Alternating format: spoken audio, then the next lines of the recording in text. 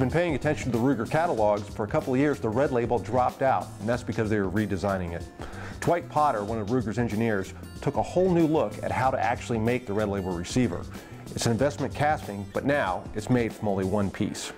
The Ruger Red Label has an investment cast stainless steel receiver, and the barrels are cold hammer forged at the Ruger plant. Now there's some changes to the barrels. There's no rib between them, and you have your options on which kind of top rib you'd like.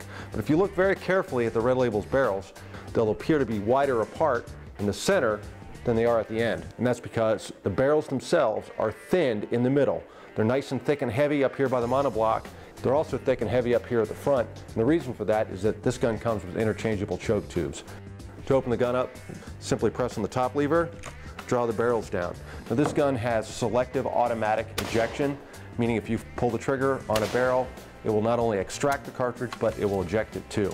If you don't fire that barrel, the cartridge will stay on the extractor. Now this gun has mechanical triggers. No inertial triggers here, all mechanical. But it is a single selective trigger. When you go to the rear tang, you'll see that of course this is an automatic safety because it's primarily a hunting gun. But whenever you open and close the barrels, it moves to the safe position. Push the safety forward, that allows the gun to fire. And depending on which way you rotate the safety lever, you'll either get a T for top, or you push it over, push it forward, there will be B for bottom. Uh, the stock on this gun is actually fairly nicely figured walnut, something you don't see a lot these days coming from the United States. And the butt pad is very useful. If you look very carefully at it, it's nice and spongy in the middle, but up here there's a harder insert.